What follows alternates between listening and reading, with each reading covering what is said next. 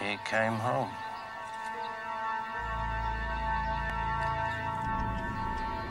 You Still spooked? I wasn't spooked. Lie. I wasn't. I saw somebody standing in Mr. Riddle's backyard. Probably Mr. Riddle. He's watching me. Mr. Riddle was watching you? Laurie, Mr. Riddle is 87. He can still watch. It's probably all he can do.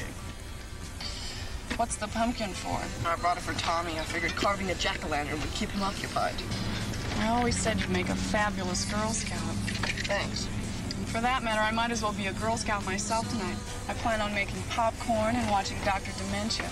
Six straight hours of horror movies. Little Lindsey Wallace won't know what hit her.